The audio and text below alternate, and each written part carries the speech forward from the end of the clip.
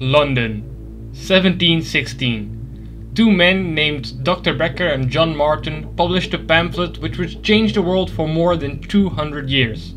In it, they warned society about something which, according to them, can cause vomiting, nausea, breathing issues, coughing, hoarseness, paralysis, impotence, lack of libido, back pain, disorder of the eye and ear, total diminution of bodily powers, paleness, thinness, pimples on the face, decline of intellectual powers, loss of memory, attacks of rage, idiocy, epilepsy, madness, fever, and finally, suicide. And worst of all, we were all suffering from it. They called this horrific practice onanism, and nowadays we call it masturbation.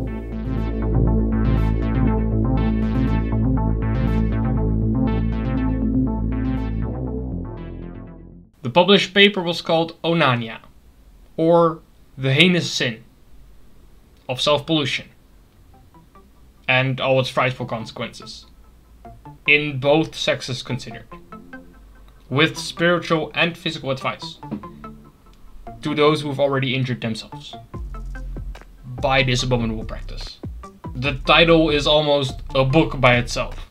But in it, Martin and Becker argue how masturbation can cause all these horrible side effects. And as luck would have it, not only did they discover that this was the case, they also discovered a cure for it. A simple strengthening tincture for 10 shillings or a prolific powder for 12 shillings. It was a hoax. Obviously. If someone would try to sell you a potion nowadays to save you from the dangers of masturbation, you'd be like, get the fuck away from me, crackhead. But somehow, someway, people believed it. And Onania became an international bestseller. It was translated into multiple languages and had over 60 different editions. The reason there were so many different editions was because a lot of fans wrote the authors to thank them from curing them from this heinous sin, often signing it your most humble servant as if they were in some non-masturbating cult. The authors would then publish these letters and the response to it in a new book and publish it as a new version. Like publishing a new version of the same product but then just packaging it with extra testimonials of satisfied customers. Honestly, the marketing for this was way ahead of its time. The actual author's words are only like a dozen pages long, but by edition 18 we are already talking about a 350 page pamphlet of pure propaganda.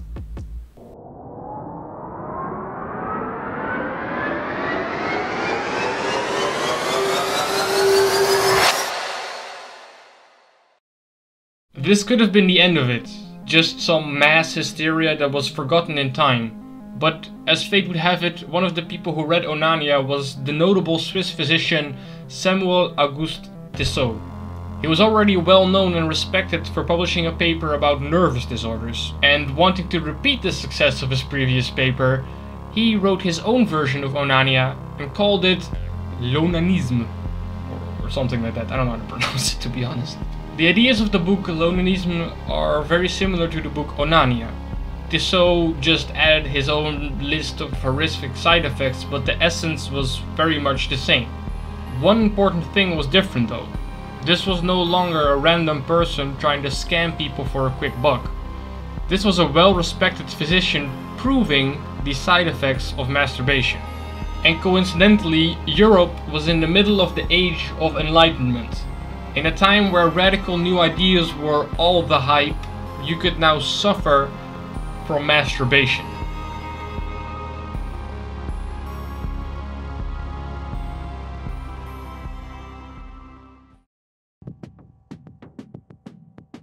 One of the main characters in the Age of Enlightenment is Immanuel Kant.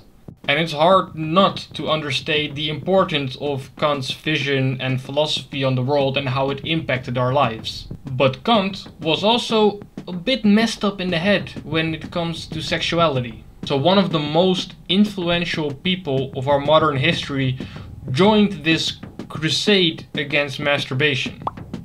And he was far from the only famous person to take this side of the argument. One of Immanuel Kant's enlightenment buddies is called Voltaire. And he also read L'Onanisme and he was like, yeah, yeah, that makes sense. Mind you that Voltaire is the one who led the charge about free speech, freedom of religion and the separation of church and state.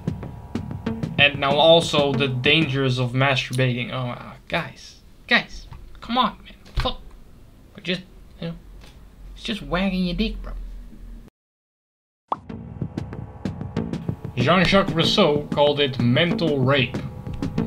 Mark Twain wrote, Of all the various kinds of sexual intercourse, this has the least to recommend to it. So, in concluding, I say, if you must gamble your sexuality away, don't play a lone hand too much. When you feel a revolutionary uprising in your system, get your Vendome column down in some other way. Don't jerk it down. Sigmund fucking Freud wrote about the disease of masturbation, in which he compares it to addictive substances like cocaine. But at least Freud was honest, because he admitted that he was suffering from masturbation. But maybe the craziest, most outspoken person against masturbation was Dr. John Harvey Kellogg. Yup, that one.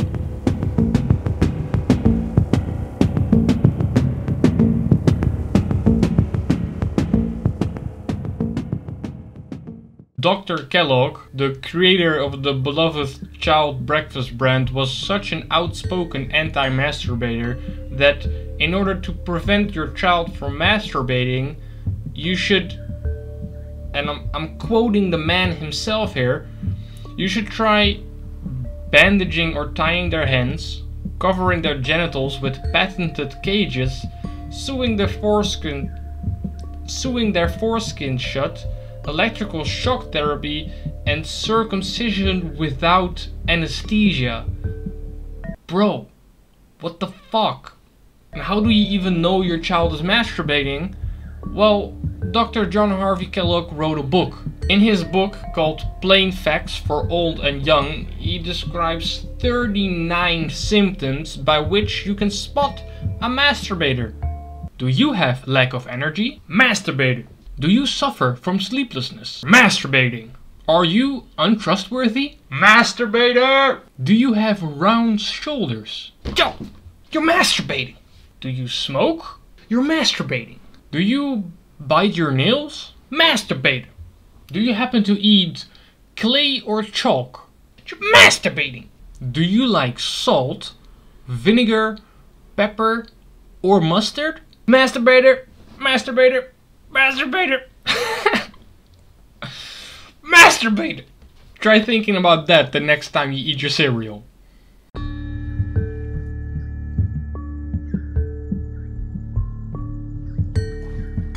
Another new idea at the time to stop people from touching themselves was to eat a bland, boring, meatless diet. Sound familiar? Kellogg? And do you know who else supported this bland, boring diet to prevent people from touching themselves? Sylvester Graham from Graham Crackers. Now what a goddamn coincidence that the two inventors of the most boring, bland breakfast out there supported the idea of eating their inventions to get rid of a vile disease. These guys just joined the anti-masturbation crusade to sell some product. Guys, We've been fucked, man. We could have been eating brownies for breakfast if it wasn't for these two fuck faces. Whew. I don't want to put all blame on them because everybody at the time was extremely misinformed. I mean, even medical literature at the time suggested things like straitjackets, removing the genitals completely, cauterization, which is basically welding a part of the body shut by burning it, or circumcising babies to prevent the desire from ever appearing at all. And this is actually one of the reasons why the US and UK started mass circumcising babies. It wasn't until a sexual revolution and a man named Alfred Kinsey that our outlook on onanism slowly started to change.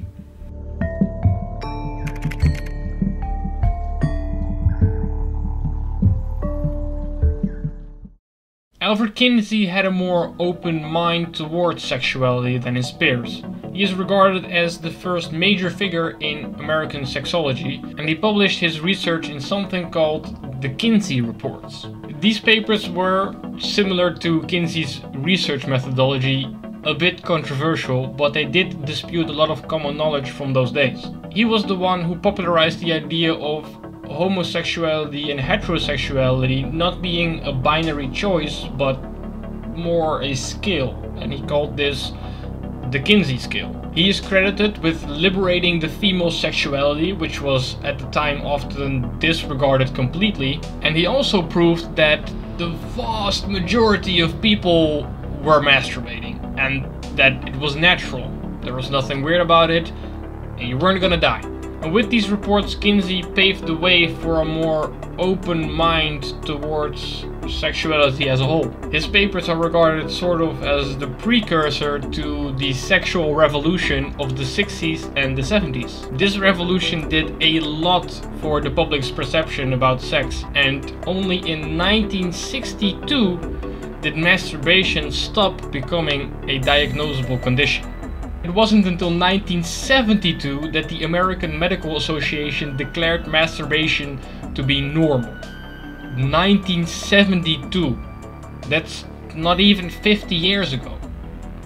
But finally, finally, the world was able to touch themselves in private in peace. Whew, that was a lot. Two guys using a scare tactic to make a quick buck that leads to 250 years of mass hysteria surrounding self-sexuality. My editing and shit, it, it might not be top tier, but, but content-wise, guys, this is the shit. I knew from my history books that we had a bad past with masturbation, but I didn't know it was this bad. My research was intense reading this. If anything, it just goes to show that just because someone's a respected individual on one field doesn't mean that all their ideas are profound. Looking at you, Kant, Freud, Twain, Kellogg. If you enjoyed, please leave a like. If you really enjoyed, please subscribe. And if you really, really enjoyed, please like, subscribe, comment, share, watch a new video, write me a letter, put up a shrine, and create a fan page for me. All jokes, of course, but for real, if you got this far, I truly appreciate it, and please consider watching one of my next videos. It'd be... It'd be amazing. It'd be appreciated. It would be most pleasant. It would be... I'm out of inspiration.